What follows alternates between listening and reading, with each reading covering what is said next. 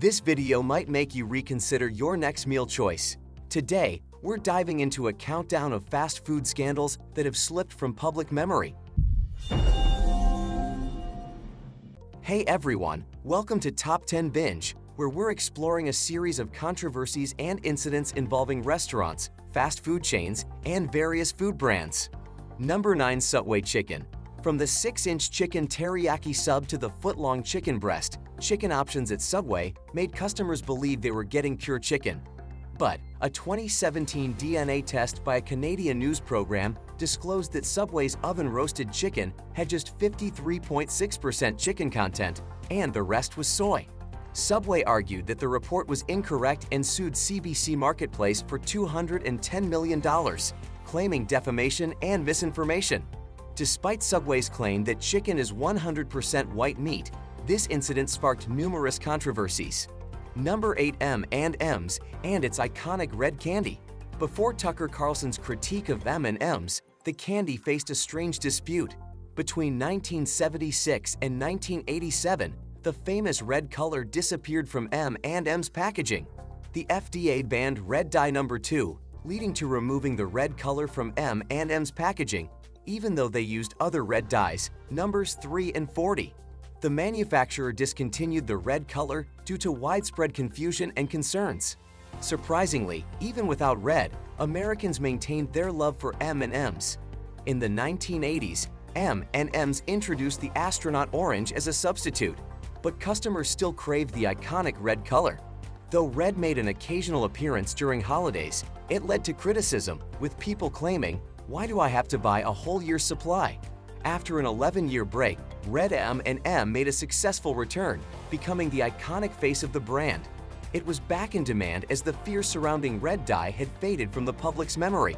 Number 7 Eating Horse In 2013, Europe's food industry faced trouble when horse DNA was found in beef burgers and lasagnas sold in multiple grocery stores. The discovery of horse DNA in supermarkets like Tesco, Iceland, and Lidl impacted businesses across the UK, Ireland, Poland, and France. The ABP Food Group and its subsidiaries, notably Silvercrest, had connections with supermarkets and Burger King. This raised concerns about the impact on the supply chain. The Burger King's meat's DNA tests did not detect horse meat, but low levels were found in samples from the Silvercrest plant.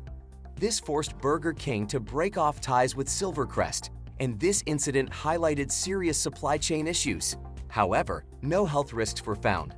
Number 6 Bubble Yum's ingredient. In 1975, Bubble Yum made a grand entrance and quickly became a sensation in school playgrounds across America. By its second year, it became famous for its mysterious ingredient, probably spider eggs, contributing to its delightful chewiness. The rumors increased the concerns about viruses and cancer, but no evidence existed. Lifesavers, the manufacturer, took action and hired private investigators to eliminate these stories. Despite the speculations, Bubble Yum maintained its immense popularity and became a childhood favorite. The spider egg narrative gradually became insignificant. Number 5 Sanders Lawsuit After Colonel Sanders sold KFC in 1964, he sued the company for using his image to sell new products, including a cheaper recipe that replaced his classic chicken. He opened Claudia Sanders, the Colonel's Lady Dinner House and filed a $122 million lawsuit against KFC's parent company, eventually settling.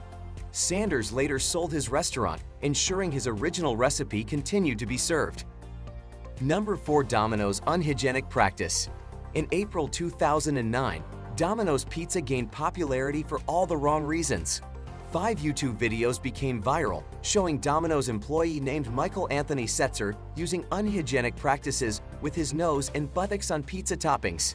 This shocking action and a companion, Christy Lynn Hamsetlingman, faced much criticism in North Carolina. Their misguided belief that the videos were just a joke underestimated the power of the internet. The footage quickly got millions of views and caught the media's attention. Despite claims that the contaminated food was never served, the consequences were severe. Both employees faced criminal charges for food contamination, resulting in prison and substantial fines. While Domino's eventually recovered from this disaster, this incident is a clear reminder of how social media blunders can destroy fortunes. Number 3. The Radioactive Oatmeal Fred Boyce, abandoned during childhood, was sent to the Walter E. Fernald Developmental Center due to some developmental disabilities. People there, including Boyce, didn't receive the proper care they deserved. Aspiring for a better life, Boyce joined the Science Club, which was entitled to a free breakfast.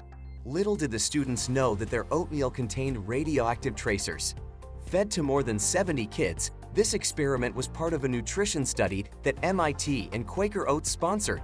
Although this happened in the 40s and 50s, it wouldn't come to light until the 90s when Boyce and others affected received a sizable settlement.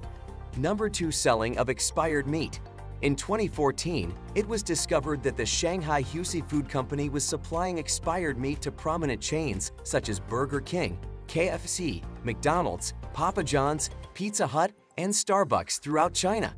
Investigations revealed that employees at Husi were repackaging and selling chicken and beef that had exceeded their expiry dates.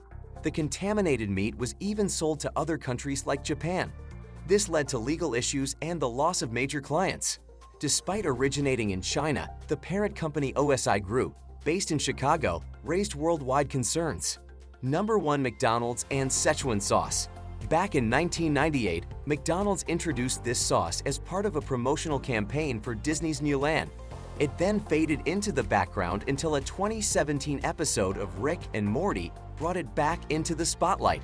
This led McDonald's to get the sauce back about six months later, but they underestimated its popularity. The sauce was available for one day and only at select locations, each receiving a mere 20 packets. The limited availability led to chaos, with one incident in Los Angeles involving the police being called to manage a crowd of 300 customers clamoring for the sauce. Since then, McDonald's has returned the sauce several times, but in much larger quantities. And that's a wrap. Which of these scandals did you know about? Let us know in the comment section below. To get more from the world of top 10s, make sure to subscribe to our channel. We will see you in the next one.